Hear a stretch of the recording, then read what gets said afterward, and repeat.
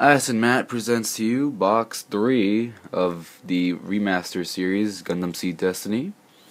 Now I know this is kind of a mixed uh, feelings uh, video, so for those who don't like the series, um, please do us all a favor and just don't watch the video. No, I'm just kidding. If you guys want to watch it, just go ahead. But seriously, don't no, no hating here.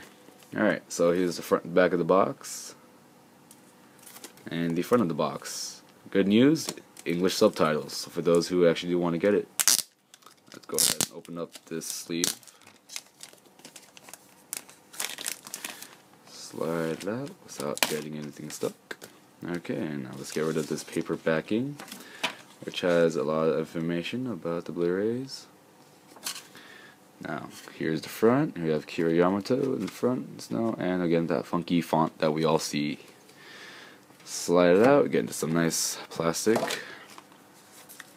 Okay, we got a couple ads here, just two of them. Okay, let's go through the Blu-rays, see how they look like. Okay, here we go, Gundam Seed Remaster, HD Remaster. Alright, this contains episode 4 disc. First disc, disc 7, contains episodes 25, 26, 27, 28, 29. Uh, disc 8 contains episodes 30, 31, 32, 33 and disc 9 contains episodes 34, 35, 36, 37.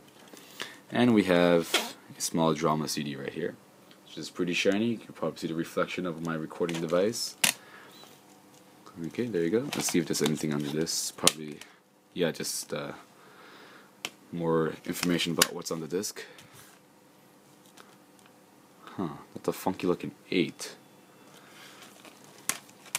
Okay, not that much intricate artwork in the in these uh, inner pages compared to the first series. Now let's go on to with that pretty big old manual we have here. Yeah, it's going through. It looks like it's a lot of the storyboards and the mapping throughout the series.